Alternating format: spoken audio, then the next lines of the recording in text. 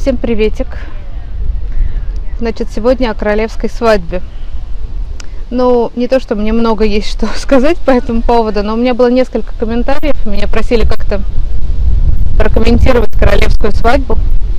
Несколько человек даже сказали, не собираетесь ли вы поехать э, на церемонию посмотреть, ну, в смысле, не на саму церемонию, а поехать в Винзор, да, где все будет проходить. Вот, но это точно совершенно я не собиралась даже, потому что, ну, во-первых, э, я уже, в общем, на таком сроке беременности, что я выгляжу как человек-яйцо, еще и с коляской. И любые передвижения, когда на холмик надо подниматься или даже ступени, они, в общем, как бы затруднительны даже по городу. Вот. Ну и плюс все-таки на это событие стекается очень много народу, но если не сотни тысяч, то десятки тысяч то, точно. И я, в общем, таких, таких толп стараюсь избегать. Ну, что хочет сказать про королевскую свадьбу. На самом деле, действительно, это было событие века. И многие англичане смотрели это с попкорном дома всю трансляцию. У телевизора сидели, провели и отмечали, может быть, в шутку там, да, но, в общем, как-то это отметили. А, многие особые фанаты поехали в Винзор. И совсем уж фанаты, на самом деле, приезжали туда с ночи и занимали места. То есть, чтобы посмотреть, вот как мимо проедет вот этот кортедж, нужно было подобраться, там было два, э, ну, два ряда ограждений, нужно было подобраться поближе, и для того, чтобы поближе подобраться, нужно было поехать с ночи туда, и э, они в палатках там ночевали для того, чтобы ну, увидеть вот увидеть поближе, как вся эта процессия проедет. Эм, мы с мужем, если честно, вообще не... Ну, то есть мы не англичане, у нас даже нет английских паспортов, чтобы мы были какие-то фанаты королевской семьи. Ну, то есть, конечно, мы отметили, что это такое событие важное, вот, но мы даже не смотрели трансляцию, я только вечером зашла в интернет посмотреть, потому что понятно, что мне, как любой девочке, интересно, там, какое было платье, какое было платьишко, как там все происходило. Вот церемония действительно была очень красивая. Очень интересное, конечно, явление, что может позволить себе монархия, потому что я не могу себе представить, чтобы э, какой-то другой ситуации так много обсуждали бы, например, если бы дочь главы государства вышла замуж или сын женился, чтобы это постель, а ты открываешь Инстаграм, и там только свадьба. Там только свадьба от всех людей, только свадьбы и ми-ми-ми-ми, там и все такое розовое, и сердечки и поцелуйчики, и платье это интрига, и все прикованы к телевизорам. То есть только монархия может себе позволить вот так вот сугубо частное событие сделать таким, в общем, государственным событием, которое, в общем, наблюдает вся страна. Что касается свадьбы, конечно, в этот день так приходила на ум периодически песня Берки Сердечки, даже если вам немного за 30, есть надежда выйти замуж за принца, вот. ну, это так, смех смехом. Но, как я посмотрела, действительно все было очень красиво, все было очень достойно. Все было очень интересно, но еще раз я говорю, что мы, в общем, не фанаты, поэтому мы особо не следили и, в общем, дома как-то не обсуждали это событие и не отмечали. Значит, что обсуждалось в связи со свадьбой и вообще среди людей и в сети? Ну, естественно, обсуждалось платье, это само собой, потому что это была главная интрига. И потом, когда все его увидели, все обсуждали, хорошее, нехорошее, идет, не идет, лучше, чем у Кейт или хуже. Многие говорили хуже, многие говорили лучше. А, кроме того, конечно, обсуждалась эм, бюджет. Да? Это была немаловажная, немаловажная тема в интернете и вообще среди людей. Потому что, ну, я не знаю, наверное, ничего нового не скажу, в общем, поскольку вся эта информация, это получена там не из каких-то конфиденциальных монарших источников, все из того же интернета, на свадьбу ушло 32 миллиона фунтов. 32 миллиона фунтов на что пошли эти миллионы? Из 32 миллионов 2 миллиона, э, ну вот, пошли непосредственно на свадебные расходы. То есть там торт, э, всякие музыканты, ну, как обычно, там, да, угощения для гостей. И в основном все эти деньги были оплачены из э, бюджета королевской семьи. Ну, то есть Чарльз дал, папа дал на свадьбу. А, там, значит, получилось так, что, по-моему, 50 что-то тысяч пошло на торт. Вот, да, не слабый, какой-то лимонный торт. Вот, но если честно, а, по-моему, по примеру всех других королевских свадеб, вот этот торт дорогущий, они не едят. Гостей при... угощают каким-то другим там в итоге тортом, а вот этот торт там по кускам как-то продается на аукционе, вот, и эти деньги тоже куда-то идут, в общем, не знаю в какой бюджет, ну, например, на благотворительность.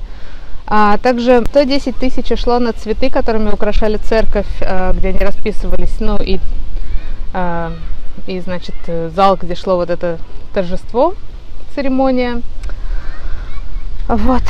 Это очень много цветов, но, как э, тоже я читала, впоследствии все эти цветы разобрали на букетики и разослали пациентам э, английских хосписов. А, значит, что еще, на что еще денежки пошли? 90 тысяч на музыкантов, трубачей.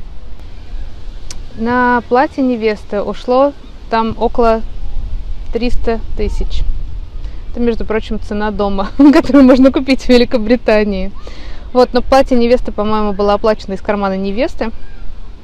И, в общем, с одной стороны, как бы вроде глупо тратить 300 тысяч на платье, с другой стороны, я думаю, что это платье тоже потом можно спокойно продать на аукционе. Очень задорого, и деньги тоже, ну, на благотворительность отправить, если, в общем, ты хочешь быть благотворителем. 10 а, тысяч стоили прическа и макияж невесты. Это для меня было 10 тысяч на макияж. Даже не знаю, что там уж... Ну, я понимаю, что, вероятно, там самая дорогая использовалась там косметика Живанши. Э, по-моему, там тени, кос... тени Живанши, палетка там, да, например, стоит 100, 100 фунтов, ну, скажем там, да.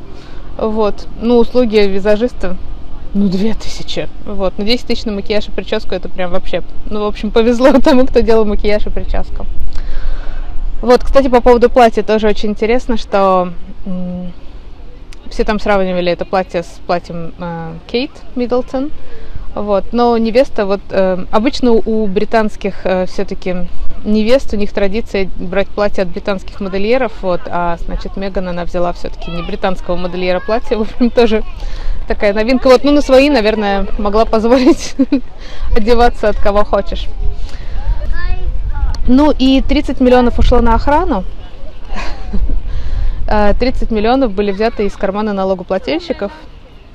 Вот. И, в общем, эти деньги ушли на охрану на нашей семьи от тех же налогоплательщиков. Это много обсуждалось, и обсуждалось то, что э, с улиц э, были убраны все э, нищие, там всякие бездомные. и обсуждалось, куда их убрали. Вот, но я думаю, что 30 а, миллионов это, наверное, деньги, которые пошли не просто там на security конкретно, вот этих вот bodyguards каких-то, а может быть э, как раз, эм, ну все-таки Англия такая страна, я не думаю, что бездомных вывезли там в чистое поле, расстреляли за углом.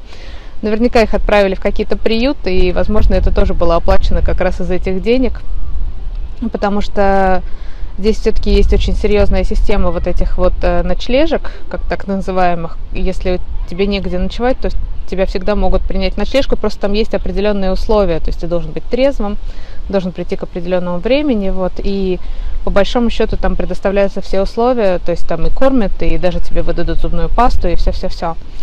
Как бы с одной стороны 30 миллионов очень много, и некоторые возмущались, говорили, что то есть э, я плачу налоги, я оплатил королевскую свадьбу. Но мне эти возмущения не совсем понятны, потому что понятно, что никто из нас настолько не богат, чтобы оплатить королевскую свадьбу. И ваши налоги там были просто какой-то, не знаю, даже не капли, а, не знаю, невидимой пылинкой.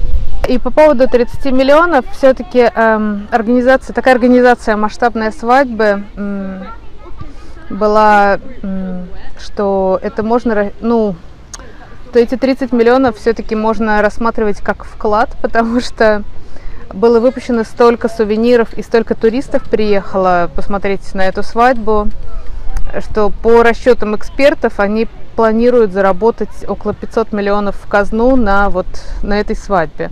Поэтому, в общем, ну, 30 миллионов по сравнению с 500, это как бы вообще даже кажется немного, даже немного вложили. Ну, вот такие вот, в общем, факты.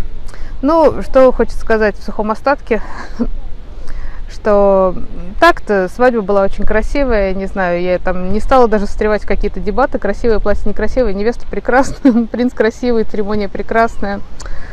Э, из того, что я увидела, все очень красиво, все очень понравилось, вот, ну, и так, в общем, ну, поженились и прекрасно, прекрасная вещь.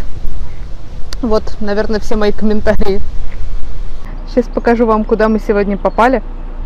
Очень интересное место. Значит, смотрите, место интересное не тем, что здесь какие-то достопримечательности.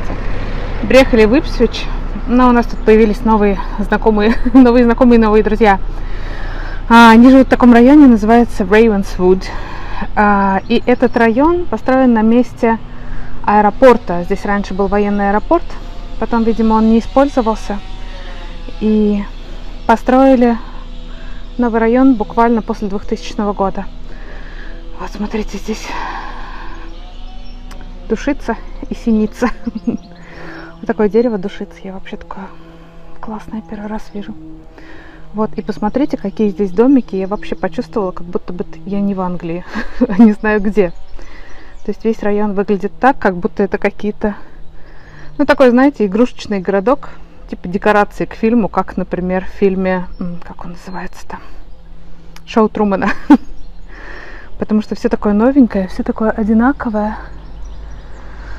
И все такое цветущее. И тишина. Вот это я тут так чуть-чуть прогуляюсь просто.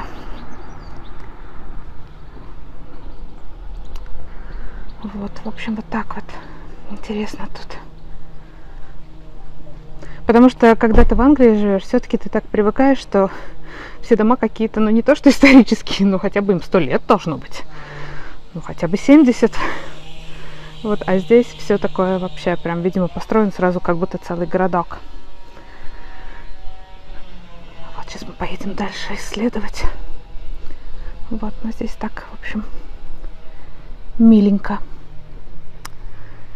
Я спросила, вот у кого-то кот, спросила, насколько здесь тихо. Они сказали, очень тихо, только воры-домушники. Потому что, видимо, район благополучный, есть что брать. Вот, и наши друзья сказали, что один раз к ним тоже залезли воры. Вот тоже наша машинка. Один раз тоже к ним залезли воры. Дальше гаража пролезть не смогли и украли все запасы. В общем, всяких моющих средств на 20 фунтов. Смотрите, какое дерево. Я такое вообще первый раз вижу. Извините меня, у меня канал не какой-то там ботанический. Но я все время показываю какие-то штуки красивые такие. Потому что меня само они поражают. Сейчас мы резкость наведем. В общем, такие веточки покрытые прям все цветами. Вот. И такая крона прекрасная, как будто это какая-то Япония или не знаю что.